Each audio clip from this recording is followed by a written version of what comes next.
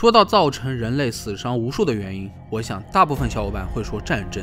确实，战争死伤无数，但是病毒的威力也紧追其后。历史上瘟疫所到之处，无论人畜不留活口。就算到了现代，病毒造成的死亡威胁也早就超过了战争。新冠疫情之下，全球陷入恐慌。那么今天我们就来讲一起发生在上世纪美国海军船上的古怪瘟疫。这场瘟疫不管是对患者还是医生，都造成了极大的冲击力。患者竟然还会抱怨自己的骨头里面有噪音，伤口处长出了无数细小的牙齿。看着就很瘆人。话说，医生也是第一次碰见，根本就无从下手，只能把这些症状一一记录下来。可惜到了最后，医生自己也被感染了，记录中断，数据删除。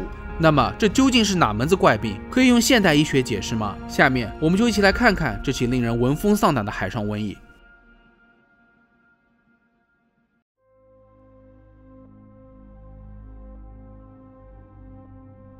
一九二二年八月五日，这场瘟疫发生在美国海军卡比号舰船，船上拥有最专业的船医，想必是万无一失了。然而，平静的生活在八月五号这一天被打破。下午三点二十二分，医生接到了报告，说有船员落水，他急忙赶到现场，落水者已经被船员们拖了上来。他的名字叫做威利斯，自己只记得早餐之前的事情，后面就没有印象了。有目击者眼睁睁地看着他走下了甲板，然后就听见了扑通一声。虽然威利斯不是一个爱喝酒的人，但眼下唯一的解释就是威利斯喝多了，不小心掉进了水里。奇怪的事情还不止这一些，威利斯的左脚有一个很大的伤口，医生检查之后没有发现什么异常，缝合后又打上了石膏，嘱咐他静养一段时间。威利斯在海上遇到的怪事一下子成为了船上的热门话题。一个不爱喝酒的人怎么会喝酒喝的自己？跳进海里面呢？不过医生却没有当回事情，毕竟他什么样的病例没有见过呢？比起这个问题，医生却发现自己越来越忙碌了，因为近期的患者人数猛然增加。照理来说，船员们个个都是糙汉子，平时都懒得找医生，所以他也落了个清闲，一时间也说不上来什么原因。大约在一个星期之后，威利斯的脚又出现了问题了。他来到了医生办公室，说自己经常脚抽到筋，并且在晚上睡觉的时候被噪音吵得睡不着。医生觉得很奇怪，在海上生活的人早就已经适应了嘈杂的生活，哪来那么？多严重的噪音呢？随后，威利斯就把脚搭在了座位上面，让医生仔细听。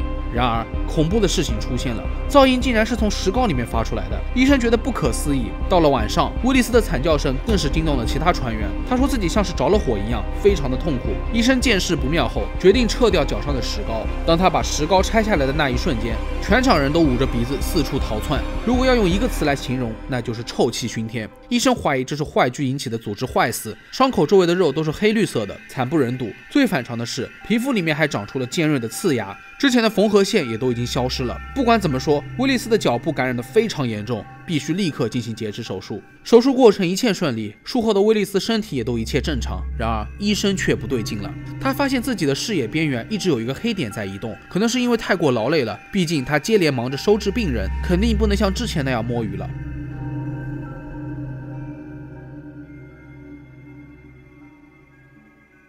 开头我们提到的海上瘟疫，单单从威利斯的病例来看，是不能说是瘟疫病毒的。所以接下来我们一起来看看第二起病例，同样令人作呕。这次的患者是个毛头小子，他的样子看上去也很吓人，右眼皮肿得很厉害，血从眼睛里面不停地涌出来。经过医生初步检查，除了肿胀之外，眼睑里面也长出了一排牙，这看着真的让人胆战心惊。医生也无法证实这一排排尖牙就是罪魁祸首，但即使不是，也脱不了干系吧。然而现实总是祸不单行，当初送威利斯到医生办公室的一名船员也中招了。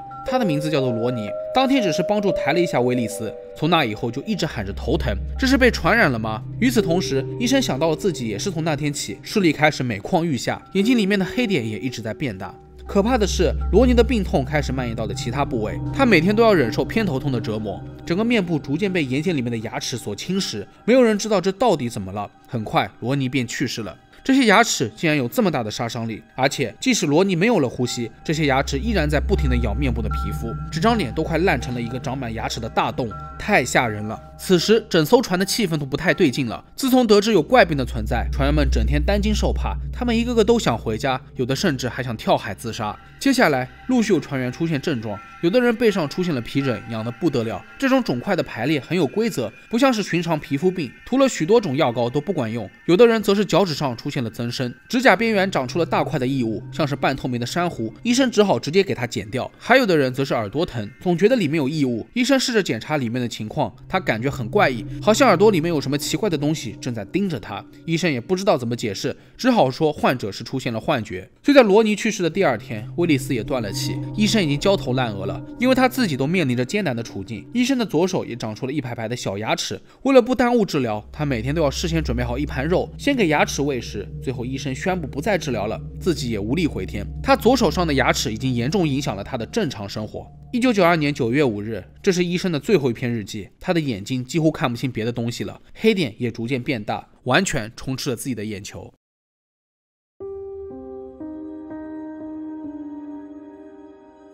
传说当中，从一九五八年到二零一六年间，全球仅有两千七百八十五例感染病例，这是一种非常罕见的病症。据说主要是通过眼神传播。进而影响人体组织对于损伤的再生能力。一旦患者受伤之后，感染此病，伤口附近就会长出许多小尖牙的组织。在已知的病例当中，这些尖牙会长在眼睑、口腔、手脚关节等地方。在人体血液充足的情况下，这些尖牙能够自主咀嚼口腔当中的食物。如果它们饿肚子，就会开始吞噬人体部位。即使宿主已经死亡，尖牙反而会更加的活跃，因为它们更加偏爱腐烂的组织。不过很多人都认为这种怪病是假的，其实到前面我还对此深信不疑，但是一听说是怪病，竟然是依靠眼神接触而感染的，多少就有点虚构的成分了。毕竟这咱们太熟悉了。还记得小时候班级里谁得了红眼病，都没有人敢看他，也不知道是谁开始误传的，说是看一眼就会被传染。你们小时候都有这样的说法吗？有时候觉得真的挺奇妙的，这种错误的说法是怎么做到全国统一的呢？所以这种怪病多半只是个传说，是假的，请各位不要恐慌。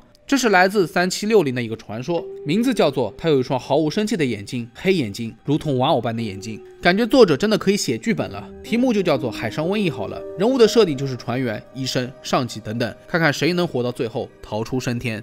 说实话，在疫情发生之前，我总是觉得这种只会发生在古时候，现代社会是不可能出现这么大规模的疾病的。但是打脸来的气势汹汹，一场疫情把我们搞得人心惶惶。如果要细数瘟疫对人类历史的影响，那就太多了。总之，人类无法避免瘟疫，这场与疾病抗衡的战争永远无法结束。所有的人都不能掉以轻心，不仅是为自己，也是为国为民。那么好了，本期视频到这里就结束了。我们假设这种瘟疫真实存在，那么你觉得要如何避免呢？可以在评论区下方留言。那如果你们觉得视频做的还可以的话，也别忘了点赞、收藏和投币。我是真人，那咱们下期视频再见吧。